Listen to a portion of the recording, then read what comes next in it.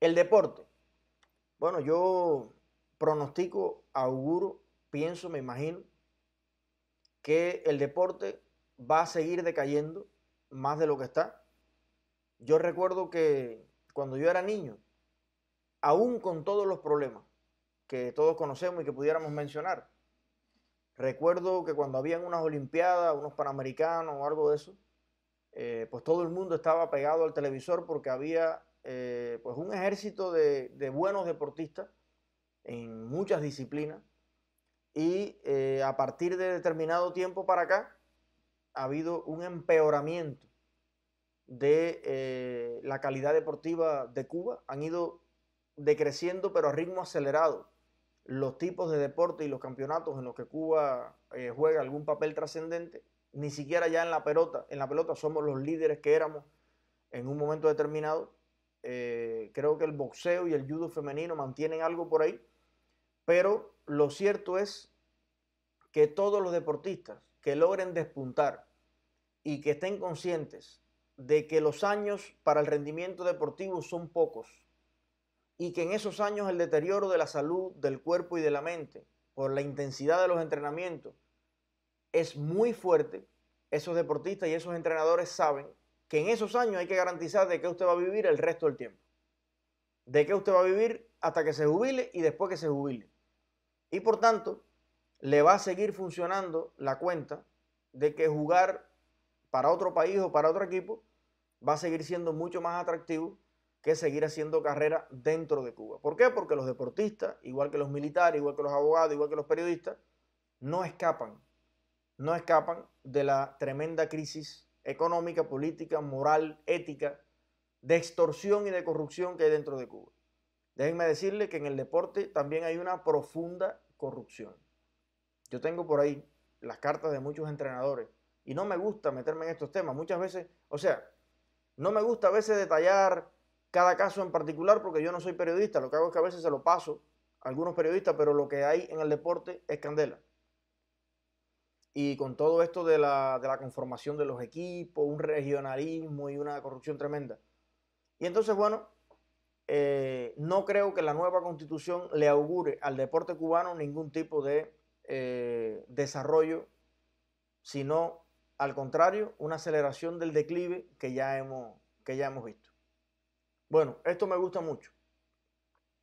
Me refiero a la agricultura, al campesinado, a los campos de Cuba ¿Qué le depara a la agricultura cubana con la nueva constitución?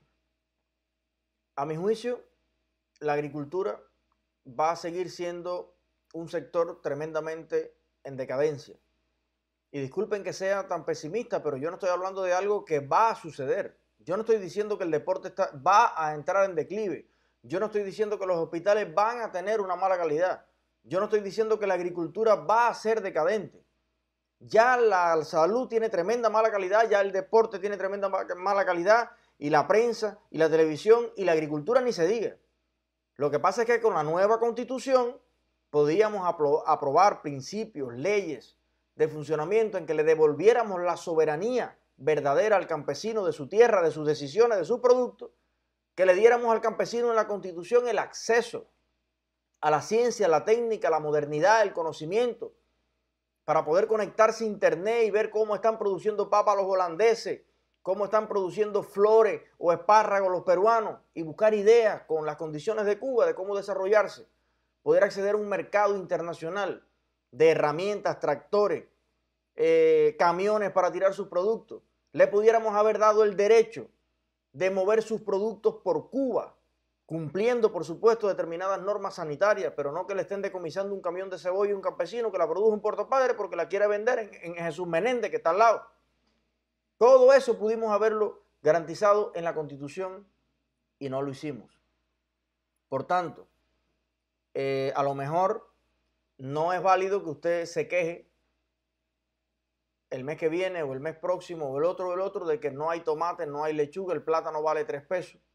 La mayoría de las tierras productivas del país están cubiertas de maleza, de marabú, que después que se desbarató la industria azucarera por malas decisiones que tomaron el Partido Comunista al que usted le ha dado y hablo con el que votó sí, al que usted le ha dado el monopolio del poder, ese Partido Comunista que destruyó la industria azucarera cubana, no ha sido capaz de sustituir ni siquiera un pequeño por ciento, notablemente, de las tierras que estaban cultivadas de caña en esos centrales para que haya entonces mucho más cultivos varios, yuca, calabaza. No, los precios de la malanga, de la yuca, de la calabaza, de la cebolla no paran de subir.